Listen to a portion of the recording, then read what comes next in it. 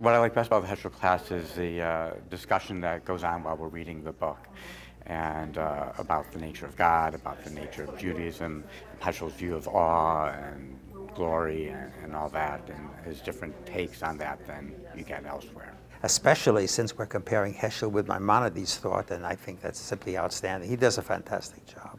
Not only is he uh, an excellent moderator, but he provides a very, very unique perspective on some of the problems that Jews have in uh, being observant and making sense of the prayer books, in distinguishing between nature and God. And the group is very supportive. They share and they help. So we come here because the classes, the quality of the educators, the quality of the classes, the nice people in the classes, we've made like a little family here.